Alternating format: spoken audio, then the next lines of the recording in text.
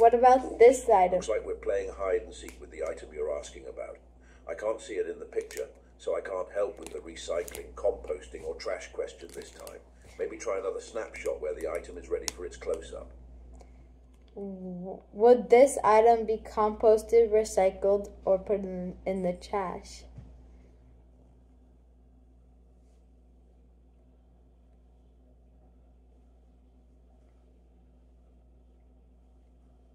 That wrapper looks like it's had a sweet past, but now it's time to trash it. Unfortunately, candy wrappers are usually not recyclable due to the mix of materials they're made from. So this one goes to the bin, not the compost or recycling. Keep it sweet and neat. Where would this item go? A pine cone. oh, should I say a pine cone?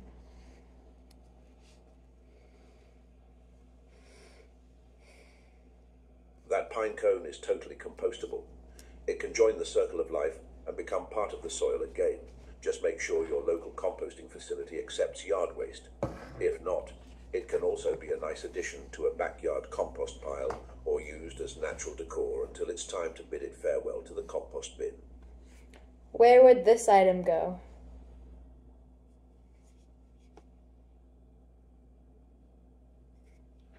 Oh, that's a tricky one. It looks like a bit of a plastic mystery from here.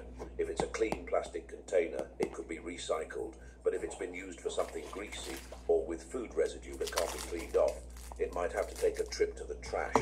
Keep it clean, keep it green. What about this item?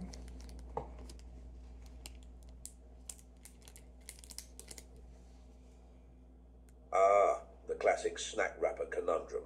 These shiny wrappers are often made with a mix of materials to keep your treats fresh, but they're not so fresh for the recycling bin. They usually can't be recycled because of the metallic inner lining. So this wrapper should Good go job. straight to the trash. Sad for the planet, but it's the current reality until we invent wrappers that can moonlight as recyclables.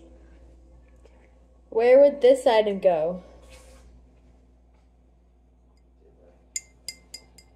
That looks like a plastic bottle, which typically goes in the recycling bin. Just make sure to give it a rinse if it's sticky. We don't want to attract any alien ant farms, do we?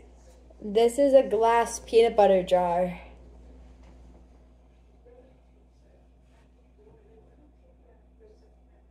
That's one nutty situation.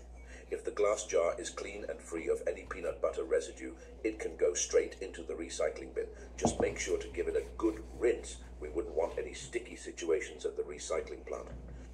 What about what about this guy? What about me? What do you do with me?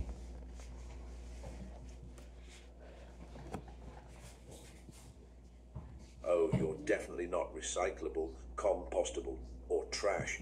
You're a person and you're priceless. Keep on shining, but maybe not into the recycling bin, okay? Well, thanks for your help. I think that's all the uh, checking we'll we'll do go? today.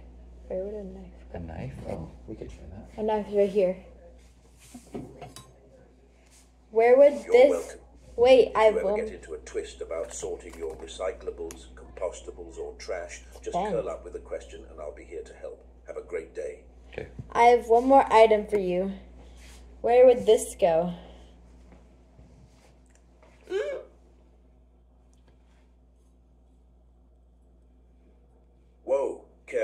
That knife. That's definitely not something you'd want to compost or recycle. When it's time to say goodbye to old cutlery, it's best to check with your local waste management facility to see if they accept metal for recycling. You do If not, it should go in the trash. But hey, if it's still sharp, maybe it just needs a new home or a second life in someone else's kitchen drawer. Stay safe. All right. Thank you, sorting Bye. hat.